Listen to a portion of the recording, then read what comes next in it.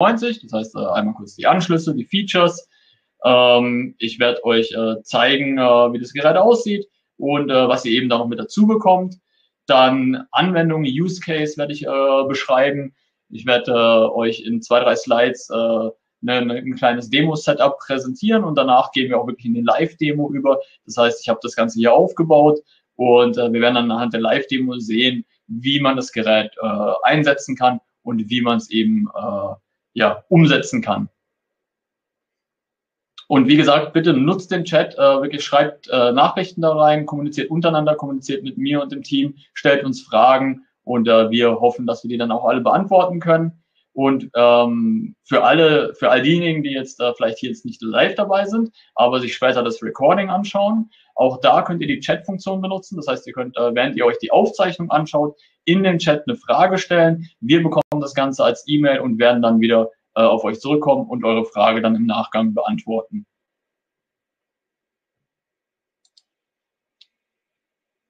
Genau, der PSW 92, äh, ein Matrix-Switcher, ganz, ganz viele Eingänge, verschiedene Inputs. Äh, das heißt, ich werde ganz kurz gleich äh, beschreiben, was die Videomatrix so alles äh, kann und was für Eingänge, Ausgänge ähm, im PSW 92 verbaut sind. Dann äh, die Audiomatrix werde ich kurz beschreiben. Das heißt, wir haben hier zwei separate ähm, ähm, Boards sozusagen oder Funktionen. Einmal die Videoschnittstellen, dann die Audioschnittstellen und dann natürlich noch zu guter Letzt die Steuerung. Das heißt, auch hier haben wir diverse Möglichkeiten, äh, einmal den PSW 92 zu steuern, sei es über ein Control-System oder äh, über, über einen PC. Oder und zum anderen haben wir auch die Möglichkeit, über den PSW 92 auch äh, diverse dritte äh, Drittgeräte zu steuern, zum Beispiel über HDBaseT, einem Projektor.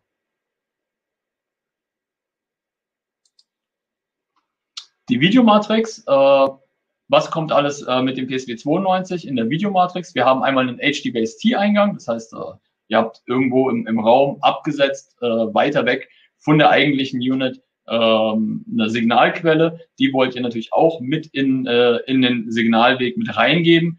Äh, dafür den HDBaseT-Eingang. Da könnt ihr äh, einen äh, HDBaseT-Transmitter anschließen. Das kann als äh, als normaler Transmitter, als normale Box sein, die ihr irgendwo verbaut habt. Aber gibt natürlich auch die Wallplate-Variante. Dann könnt ihr das äh, im Seminarraum an der Wand, im Podium äh, verbauen und dann über ein HDBaseT-Kabel das Ganze dann zur Matrix schicken und von da natürlich dann weiter verteilen. Dann haben wir einen DisplayPort-Eingang und wir haben fünf HDMI-Eingänge, zwei VGA-Eingänge. Also jede Menge Anschlüsse, die man verwenden kann, um diverse Signale zusammenzuführen und dann eben mit der Matrix zu verwalten, zu schalten. Ausgangsseitig haben wir einen HD-Base-T-Ausgang und einen HDMI-Ausgang. Die sind gespiegelt. Das heißt, ihr könnt äh, zeitgleich zwei Displays ansteuern oder ein Display, ein Projektor mit HD-Base-T-Eingang. Und auch hier äh, gleich vorneweg. Äh, beim PSW 92 ist auch ein Receiver wieder mit dabei. Das heißt, den muss man nicht separat kaufen, sondern äh, ist mit dabei in der Box. Ähm, das heißt, wenn ihr ein abgesetztes Display habt, ohne HDBaseT-Eingang oder ihr habt einen Projektor ohne HDBaseT-Eingang, dann nehmt ihr einfach äh, den Receiver, der mit dabei ist, schließt das Ganze an und habt eure Installation eigentlich schon quasi äh, beendet oder ja, äh, vervollständigt. Das heißt, da an der Stelle, ihr müsst keine zusätzlichen Boxen kaufen, ihr müsst keinen zusätzlichen Receiver kaufen. Das Ganze ist alles mit dabei. Die Audiomatrix. Die Audiomatrix, äh, hier ganz spannend, auch jede Menge Eingänge. Ähm, also es gibt nicht nur einen separaten Line-Eingang äh, für eine, für eine äh, analoge äh, Signalquelle, es gibt auch einen Mikrofoneingang. Das heißt, ihr könnt hier ein Mikrofon anschließen. Ähm, gibt auch Phantomspeisung aus. Das heißt, wenn das Mikrofon Phantomspeisung benötigt, braucht ihr auch euch da keine Gedanken machen, ob ihr dann noch zusätzliche Hardware braucht. Äh, wir haben hier Phantomspeisung mit drinne. Das heißt, äh, auch hier wieder alles aus einer Hand. Ähm, dann äh, zusätzlich dazu haben wir für, den, für die VGA-Eingänge, analoge äh, Eingänge, natürlich muss es haben. VGA hat ja kein Audiosignal im, im eigentlichen Sinne mit dabei. Das heißt, da braucht es einfach eine, eine Alternative. Und das ist der klassische 3,5 Millimeter Anschluss, Klinkenanschluss. Könnt ihr dann mit dem VGA-Signal zusammen Matrix äh, in die Matrix geben. Die Matrix mergt das, bringt das Ganze zusammen. Und äh, ausgangsseitig habt ihr dann äh, über HDMI ähm, oder eben über HDBaseT das Signal äh, Audio und Video gemeinsam verfügbar. Dann haben wir hier noch ähm, ein HDMI-Input, der auch noch separat dazu äh, eine 3,5 Millimeter Anschluss hat. Das heißt, hier könnt ihr sagen, äh, ich will gar nicht von meiner HDMI-Quelle äh, oder von meinem Laptop das Tonsignal, sondern ich will eigentlich ein externes Audiosignal. Über diesen HDMI-Eingang könnt ihr da nochmal ein analoges Eingang dazugeben und äh, zeige ich euch später im Webinterface. Da könnt ihr ganz einfach zwischen dem analogen und dem äh, eigentlichen digitalen äh, Audiosignal hin und her schalten. Das Ganze auch bei DisplayPort. Bei DisplayPort finde ich es fast noch wichtiger, dass wir das da mit, äh, mit dabei haben. Warum? Äh, nehmen wir mal ein altes MacBook, was ich jetzt hier auch aufgebaut habe. Ein altes MacBook mit einem Mini-DisplayPort-Anschluss äh, unterstützt äh, manchmal kein Audio über Mini-DisplayPort auf DisplayPort.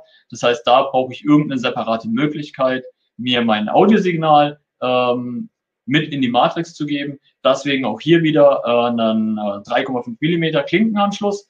Und da habt ihr dann auch wieder die Möglichkeit, Audio und Video gemeinsam in die Matrix zu führen. Und das Ganze wird von der Matrix dann zusammengeschalten und auf euer Display oder eben auf eure Lautsprecher ausgegeben.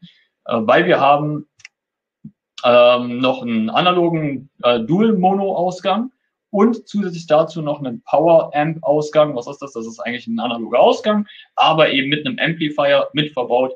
Das heißt auch da, wenn ihr jetzt ähm, Deckenlautsprecher habt als Beispiel, äh, braucht ihr keinen zusätzlichen Verstärker dazu, sondern könnt da direkt über den Amp äh, rausgehen auf die Lautsprecher und das Ganze dann miteinander verbinden.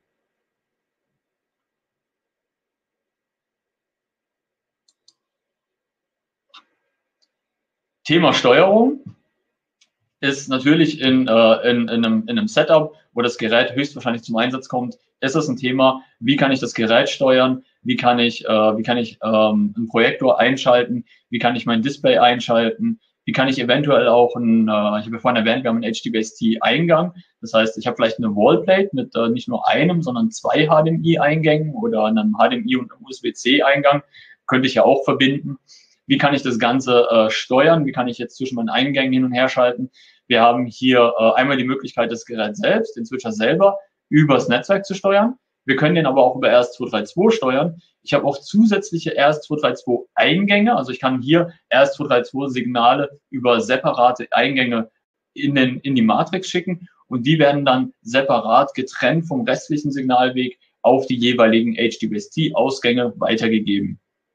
Das Ganze funktioniert bidirektional, das heißt auch hier könnt ihr äh, die Signale äh, von der einen Seite zur anderen und wieder äh, zurückschicken. Und natürlich, äh, das Ganze hat auch äh, Frontpanel-Tasten, das heißt, äh, ihr könnt das Gerät von vorne über die Tasten bedienen. Ihr habt äh, die Möglichkeit, die Eingänge ein und, äh, zwischen den Eingängen hin und her zu schalten. Es gibt ein, äh, ein kleines Drehrad.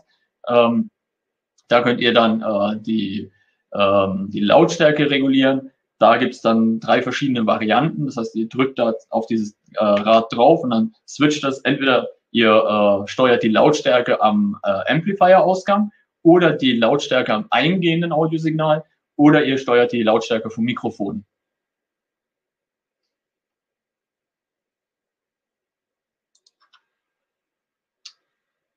Und jetzt sind wir eigentlich schon, äh, das war jetzt eigentlich schon das Technische äh, oder die technischen äh, Details vom Switcher selbst. Und ähm, jetzt sind wir schon ähm, bei den Use Cases, also wo kann ich das Gerät einsetzen, wo macht es am meisten Sinn, das einzusetzen. Und da sind mir ähm, ja eigentlich zwei, zwei Haupt ähm, Setups eingefallen, wo es wirklich Sinn macht, das Ganze anzusetzen. Äh, das wäre einmal im Konferenzraum und das andere im Auditorium. Warum genau diese zwei Szenarien? Konferenzraum ganz klar. Äh, größere Konferenzräume habe ich meistens äh, ein oder sogar zwei Displays und ich habe natürlich äh, diese Challenge, dass ich möglichst viele verschiedene Signale aufnehmen möchte und verarbeiten möchte. Und dafür ist der, der PSW 92 natürlich prädestiniert mit seinen vielen Inputs und seinen äh, zwei gespiegelten Ausgängen.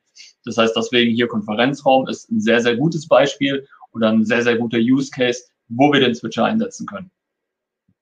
Das zweite, ein Auditorium. Ein Auditorium einfach deswegen, weil wir hier auch ähm, immer verschiedene Redner haben. Wir haben verschiedene Menschen, die im Auditorium vortragen wollen. Äh, das heißt, auch hier müssen wir natürlich sicherstellen, dass ich möglichst viele verschiedene Varianten an, an Eingängen zur Verfügung stelle, weil nicht jeder kommt mit, äh, mit einem Laptop, der einen HDMI-Ausgang hat. Äh, es gibt auch noch dann äh, die, die, äh, die, die, die Redner, die halt noch ein etwas älteres Modell haben und VGA-Anschluss ähm, äh, kommen oder eben mit dem DisplayPort können wir hier alles verwalten. Das heißt, auch hier ähm, habe ich die Möglichkeit, das Ganze äh, äh, abzufangen und meinen Raum eigentlich für jedes Szenario vorzubereiten. Ähm, Im Auditorium ist ja auch noch ganz klassisch. Ich habe einmal hinter mir meistens die große Leinwand, das heißt äh, mit einem Projektor, dafür der HD-Base-T-Ausgang, aber der Redner selbst will ja nicht sich immer umdrehen müssen, um zu präsentieren, sondern hat dann äh, vor sich oder im Rednerpult vielleicht eingebaut noch ein Display und das Ganze kann ich dann mit HDMI äh, verbinden. Dadurch, dass diese Eingänge gespiegelt sind, ist eigentlich immer sichergestellt, dass der Redner und auch das Publikum immer das gleiche Signal sehen. Und für heute dachte ich mir, wir nehmen mal das Beispiel Konferenzraum. Und äh, ich habe mir da so ein, so ein Beispiel ähm, Use Case ausgedacht, was eigentlich ganz, ganz typische Anforderungen ist oder ein ganz, ganz typischer, ähm, ja, eine ganz typische Anfrage, die wir auch immer bekommen. Ähm, hey, ich habe einen Konferenzraum oder ja, der Kunde kommt zum Integrator und sagt, ich habe einen Konferenzraum. Ähm, jetzt hier auf dem Bild, der ist relativ groß. Ich habe ein oder zwei Displays ich habe meine Deckenlautsprecher und äh, ich habe zwei äh, Tischanschlussfelder und möchte das alles miteinander verschalten. Was kannst du mir da anbieten? By the way, das Budget ist nicht sehr hoch. Das ist ja meistens so diese Aussage, die man vom, vom Kunden hört. Und da ist der äh, PSW 92 eben eigentlich eine, eine sehr gute Lösung, die ihr anbieten könnt. Ähm, zum einen eben wegen den technischen Details, die ich jetzt schon ein paar Mal erwähnt habe, aber zum anderen auch äh, das Ganze hier ist in einer Preisklasse, die, die wirklich attraktiv ist. Und da ähm, würde ich vorschlagen oder würde ich einfach empfehlen, sprecht mit unserem Sales-Team, sprecht mit eurem äh, Distributor und äh, lasst euch da die Preise mal äh, vorlegen. Vergleicht das gerne auch mit, mit Alternativprodukten. Ähm, ich glaube, hier haben wir äh, einen, einen Switcher in einer sehr, sehr guten Preisklasse, der eigentlich alle Anforderungen erfüllt, vor allem gerade in so einem, in so einem Setup. Dann hier das Ganze ein bisschen größer äh, und äh, mit ein bisschen Hardware jetzt mit schon mit drinne.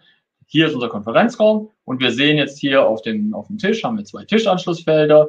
Ich habe hier links ein Display, ich habe äh, am Ende vom Raum ein Display und an der Decke vier Deckenlautsprecher. Das Ganze möchte ich jetzt zusammenführen. Wie sieht es aus? Äh, wie können wir dem Kunden eine Lösung anbieten? Da kommt eben der PSW 92 zum Einsatz. Den äh, Raum jetzt ein bisschen ausgeblendet und äh, den PSW 92 mit dabei. Da sehen wir schon äh, diese zahlreichen Anschlüsse auf der Rückseite. Wie sieht es in einem technischen Diagramm aus?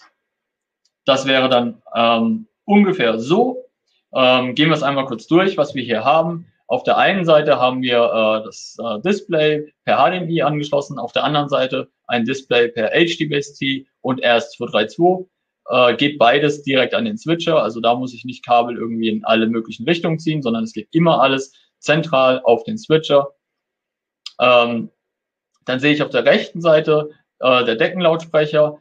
Ich habe jetzt nur einen eingezeichnet, weil die anderen sind natürlich in Serie dann geschalten in dem Fall. Ich gehe auf den äh, Switcher, an den Amp-Ausgang, über den Verstärker, habe hier kein zusätzliches Gerät, keine zusätzliche Hardware, äh, ein Audiokabel vom Deckenlautsprecher zu meinem Amplifier. Jetzt habe ich schon den Audio-Ausgang-Part quasi schon abgearbeitet.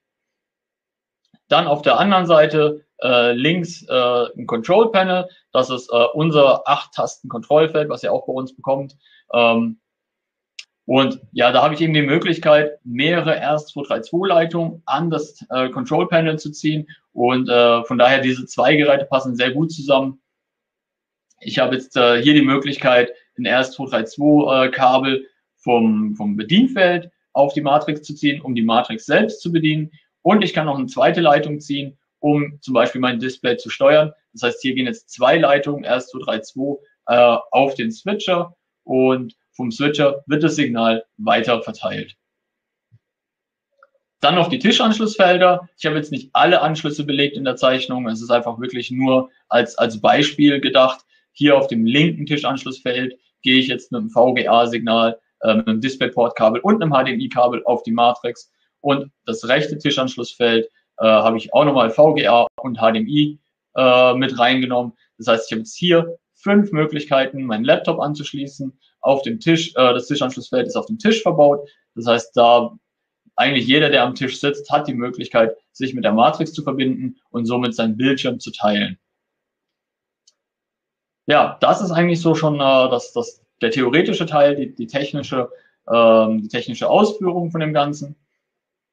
Schauen wir uns ganz kurz im, im äh, Detail nochmal ein bisschen die, die Control-Situation hier an. 8-Button-Control mit der Matrix verbunden. Wie steuere ich jetzt die Matrix? Wie werden die Signale von der Matrix verwaltet? Und wie werden, wird dann das Display angesteuert? Und dazu gehen wir kurz in die Live-Demo rüber. Das heißt, äh, ich teile jetzt mal meinen Bildschirm und erkläre ich kurz, was ich hier vorbereitet habe. Das linke Fenster stellt jetzt hier äh, mein, mein Control-Display dar. Das heißt, hier äh, mein, mein Control-System. Äh, das heißt, alles, was ich hier rausschicke, kommt eigentlich vom, vom Kontrollsystem. Ist jetzt hier beispielhaft, damit ich das euch äh, besser veranschaulichen kann, eben von meinem Rechner über RS232 an die Matrix. Äh, das geht hier ähm, RS232 an den HDBaseT-Ausgang von der Matrix. Und äh, auf der anderen Seite hier das rechte Fenster äh, ist angeschlossen an meinem Receiver am RS232-Ausgang hier. Das heißt, äh, wenn ich jetzt hier ein Signal schicke, dann geht es von, von meinem, in uns, von, von unserem Beispiel jetzt wieder ausgegangen, geht das äh, Signal vom Kontroll, vom Kontroll-Tastenfeld äh, via RS232 an die Matrix. Die Matrix schickt das Ganze via HDBaseT an den Receiver. Im Receiver habe ich einen äh, RS232-Ausgang und von da geht es dann wieder zurück an meinen Rechner. Und jetzt äh, habe ich jetzt hier eben die Möglichkeit, äh, zum Beispiel, ich klicke hier, ich sende jetzt hier über den Transmitter einen Power-On-Befehl und ihr seht auf der anderen Seite am Receiver kommt dieser Power-On-Befehl an. Jetzt äh, gibt es natürlich ähm, die Variante an Control-Systemen, die gerne ein Feedback hätte. Äh, das heißt, ich muss irgendeine Rückmeldung schicken, wenn mein Display das unterstützt. Um, von daher die ganzen Gerätschaften, die wir jetzt hier im Einsatz haben, das heißt der, der Receiver, die Matrix, unterstützt natürlich RS232 bidirektional. Das heißt, in beide Richtungen kann ich hier mein Signal hin und her schicken. Das heißt, wenn jetzt hier das Feedback kommt, Display ist on, äh, schickt das Ganze durch die Matrix wieder über, äh, über HDBaseT zur Matrix und wieder an den RS232-Ausgang zurück an meinen Rechner. Und eben genauso funktioniert es dann auch mit eurem Kontrollsystem. Das heißt, ihr schickt einen Befehl an die Matrix, die Matrix schickt den Befehl weiter an den Receiver oder an den Projektor und der, der ähm, Rückgabewert wird eben wieder zurückgeschickt an das Kontrollsystem und dementsprechend kann, kann das Kontrollsystem dann auch den Status abfragen und dem, demnach auch den richtigen Status immer anzeigen. Das heißt, hier ganz wichtig, bidirektionales RS232 äh, ist in der Matrix vorhanden. Einfach das, um einmal kurz zu veranschaulichen. Ähm, ich hatte beim letzten Webinar eben noch die Frage an der Stelle, äh, kann ich denn mehrere RS232-Signale verwalten? Ja, auf jeden Fall möglich. Ich habe ja noch dazu die Möglichkeit, über den Mainboard die Matrix äh, zu steuern, äh, was ich jetzt hier in meinem Setup gemacht habe. Und dazu würde ich jetzt noch mal kurz mein anderes Bild dazu holen.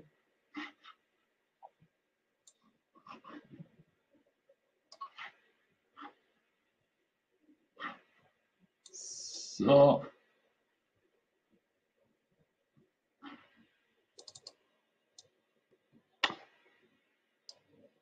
seht ihr nach wie vor noch, ähm, hier ist es. Hier habe ich eben noch äh, eine, zweites, eine zweite Variante aufgebaut. Und zwar steuere ich jetzt hier die Matrix äh, nicht mehr via RS232, sondern über TCP/IP. Ähm, auch hier es ist eigentlich, ähm, es macht keinen Unterschied, ob ich jetzt äh, über Netzwerk gehe oder äh, über serielle Schnittstelle. Für die Matrix ist das ein und dasselbe. Das heißt, das Kommando, egal auf welchem Signalweg es geschickt wird, kommt bei der Matrix an und wird dementsprechend ähm, verarbeitet. Und hier habe ich jetzt eben einfach die Möglichkeit, äh, mich per Netzwerk zu verbinden. Und ich mache das noch ein bisschen kleiner. Kann hier meine Signale schicken. Zum Beispiel könnte ich jetzt hier, was wir hinter mir sehen, ist eben der DisplayPort-Eingang, der jetzt gerade über die Matrix geschickt wird. Und ich kann es hier natürlich umschalten. Das heißt, jetzt äh, schalte ich auf den HDMI 3 und ihr, ihr hört auch, äh, es ist nicht nur das Bildsignal, das Videosignal, was umgeschalten wird, sondern auch der Ton, der parallel dazu einfach mitgeschalten wird. Auf die nächste Quelle, auch wieder einfach das Kommando schicken von eurem Steuersystem. Signal wird umgeschalten und wieder zurück auf meine DisplayPort-Quelle. Das einmal als Veranschaulichung, was wir mit Control-Signalen alles machen können. Äh, das war jetzt ein ganz, ganz einfaches Setup, nur um einmal zu zeigen, wir können hier seriell steuern über RS232, das heißt, äh, äh, oder eben über, über TCP/IP. Das heißt, in unserem Beispiel hätte ich jetzt die, die Netzwerksteuerung gar nicht gebraucht. Ich hätte alles seriell gemacht, habe mit zwei Geräten, dem 8-Button-Control und der Matrix selbst, einen kompletten Meetingraum oder ein komplettes Auditorium ausgestattet zu einem sehr, sehr attraktiven Preis. Ähm, das letzte, was ich euch noch kurz vorstellen möchte, ist das Webinterface, weil irgendwie müssen wir ja auch die ganze Sache konfigurieren können. Das heißt, dazu einmal kurz umschalten auf das andere Display. So sieht das Webinterface aus. Wenn ihr euch das erste Mal einwählt, äh, Standardpasswort ist hier immer äh, Login ist Admin Admin äh, bei jedem Gerät, was ihr von uns ähm, äh, bekommt. Wir stehen immer auf einer statischen IP-Adresse von Werk aus. Das heißt auch hier bei der Installation wirklich ganz, ganz einfach. Ihr verbindet euren Rechner direkt mit dem, mit dem Netzwerkkabel, mit der Matrix, müsst gar nicht übers große, übers Netzwerk gehen. Ähm, feste IP-Adresse äh, dem Rechner zuweisen und die Matrix selbst ist ja auf einer festen IP-Adresse. Und dann können wir uns schon einloggen Username, Passwort. Und ja, hier habe ich jetzt eigentlich schon alle Möglichkeiten. Hier kann ich äh, mit der Matrix eigentlich schon ganz, ganz viel machen. Das heißt, ich kann alles, was ich vorhin über das Kontrollsystem gemacht habe, kann ich natürlich auch über das Webinterface machen. Ich kann hier zwischen den Eingängen hin und her schalten. Ich kann hier äh, die Lautstärke äh, beeinflussen. Das heißt, ich kann lauter, leiser machen.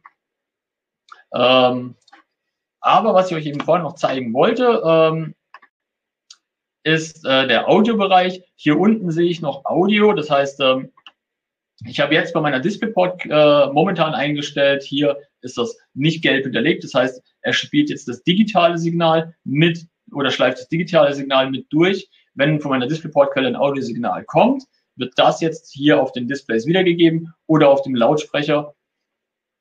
Und sobald ich hier draufklicke äh, und das gelb aufleuchtet, dann ist das eben nicht mehr meine digitale Audioquelle, sondern dieser 3,5 Millimeter Klinkenanschluss, der hier mit dazugehört und das gleiche eben auch mit HDMI. Wenn ich jetzt hier auf die HDMI 3 umschalte, jetzt hört ihr schon im Hintergrund, ich habe jetzt hier einen Ton von dem Video, das ist der Ton, der von meiner HDMI-Quelle mitkommt.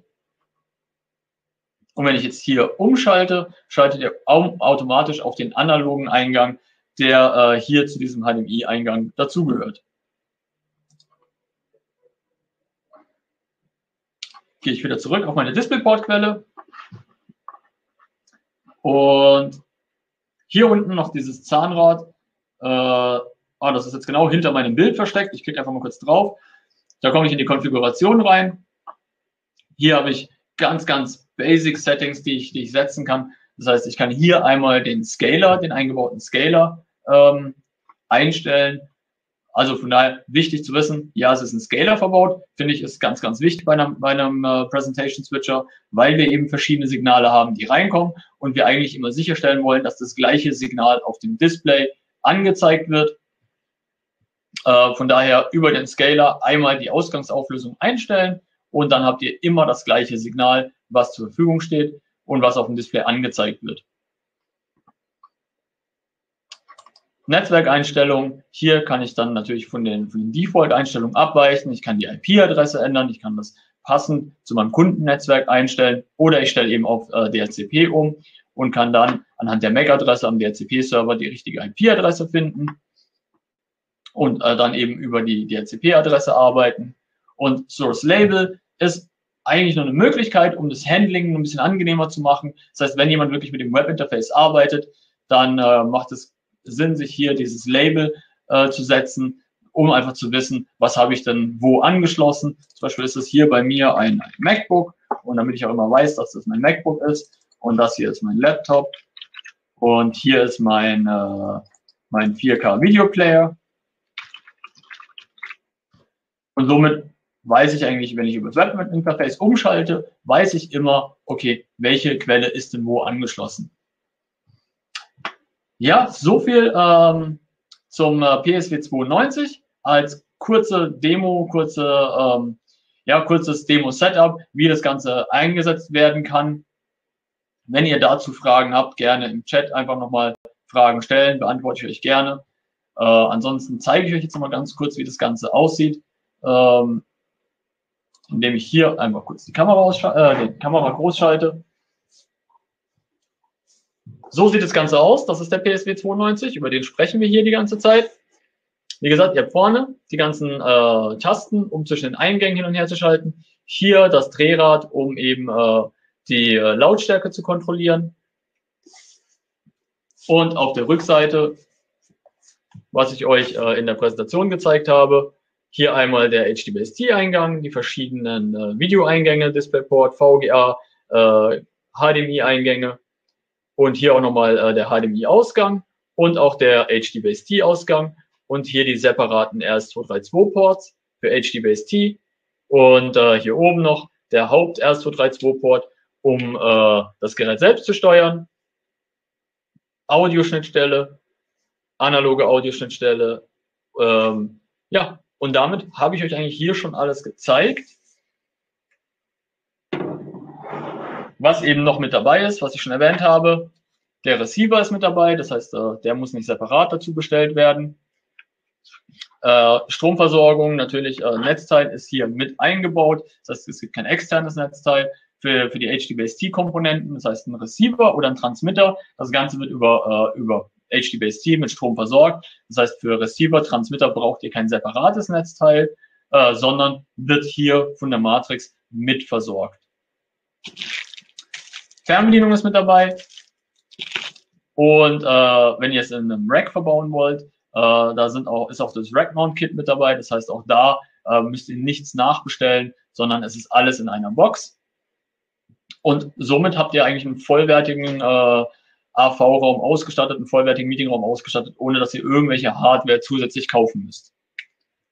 Ja, an der Stelle ähm, wäre ich jetzt eigentlich schon mit allem durch. Hab euch äh, den äh, hoffentlich den Presentation Switcher halbwegs äh, gut erklären können. Ähm, wie gesagt, wenn es noch Fragen gibt, einfach gerne in den Chat reinschreiben. Und auch hier nochmal zur Wiederholung, wenn ihr euch äh, das Ganze gerade als Aufzeichnung anschaut und nicht äh, live dabei seid, auch da könnt ihr den Chat benutzen. Einfach in den Chat die Frage äh, reintippen, abschicken. Wir bekommen das als E-Mail bei uns und werden uns dann wieder bei euch melden und eure Frage beantworten. Vielen Dank, dass ihr dabei wart und äh, ich freue mich schon auf die nächsten Sessions, die, die bald kommen werden.